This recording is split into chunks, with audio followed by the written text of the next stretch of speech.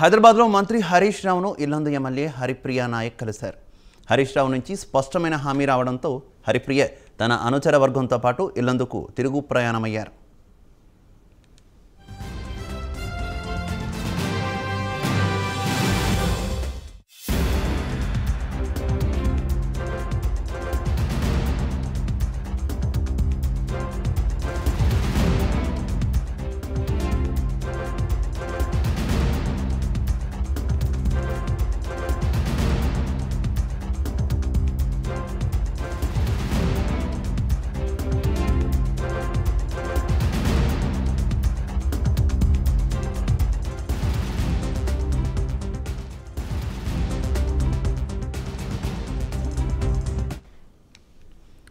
ఇల్లందు బీఆర్ఎస్లో ప్రత్యర్థులు అసమ్మతి గళం వినిపిస్తున్న నేపథ్యంలో ఎమ్మెల్యే హరిప్రియ ఈ ఉదయం ఇల్లందు నుంచి హైదరాబాద్కు వెళ్ళారు.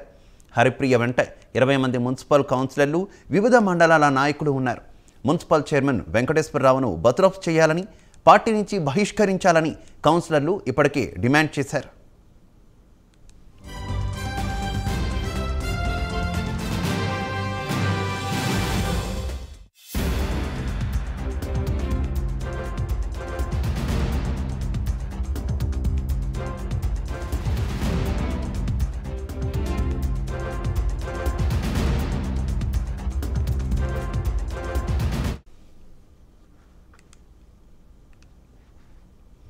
హైదరాబాద్లో మంత్రి హరీష్ రావును ఇల్లందు ఎమ్మెల్యే హరిప్రియ నాయక్ కలిశారు.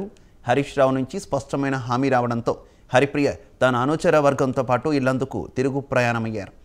ఇల్లందు బీఆర్ఎస్లో ప్రత్యర్థులు అసమ్మతి గోళం వినిపిస్తున్న నేపథ్యంలో ఎమ్మెల్యే హరిప్రియ ఈ ఉదయం ఇల్లందు నుంచి హైదరాబాద్కు వెళ్ళారు. హరిప్రియ వెంట ఇరవై మంది మున్సిపల్ కౌన్సిలర్లు వివిధ మండలాల నాయకులు ఉన్నారు. మున్సిపల్ చైర్మన్ వెంకటేశ్వరరావును బత్రఫ్ చేయాలని పార్టీ నుంచి బహిష్కరించాలని కౌన్సిలర్లు ఇప్పటికే డిమాండ్ చేశారు. ఇక ఇదే విషయానికి సంబంధించి మరింత సమాచారం మా కరస్పాండెంట్ చందు అందిస్తారు. చందు.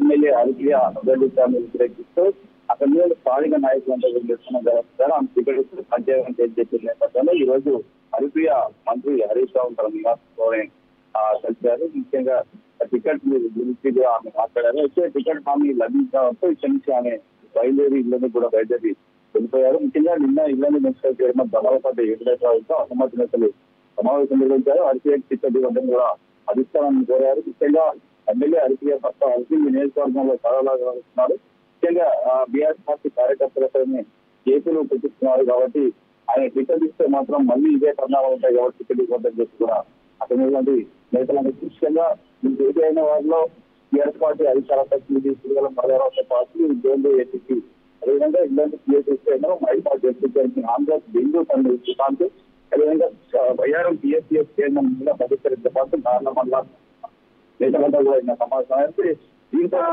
ఆరోగ్య అసంబంధించిన నియోజకవర్గంలో పార్టీ అధ్యక్షులు అది రెస్పాన్సిబుల్ వాళ్ళు సమావేశం ఏర్పాటు చేసి ఆర్టీఐకి మద్దతుగా వాళ్ళు వాళ్ళపై జగన్ కూడా మాట్లాడిన పరిస్థితి మనకు కనిపిస్తుంది. ఈ నేపథ్యంలో మొత్తం నియోజకవర్గంలో రెండు వర్గాలుగా టీఆర్ఎస్ పార్టీ విడిపోయింది.